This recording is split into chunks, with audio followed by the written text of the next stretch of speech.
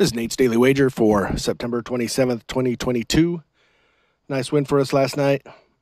I uh, we took the took the Cowboys to uh, eat some crow, and uh, also you know Giants suck, so it wasn't really that bad. So, all right, get the win, move forward, go back to the baseball tonight since there's no football, and I'm gonna head all the way out to the West Coast. We got the uh, Oakland A's taking on the California Angels of Anaheim, Los Angeles. And uh, total sitting at eight. I think these teams are uh, hard have a hard time putting up runs. So uh, we're going to take the under. That's how it's going to go.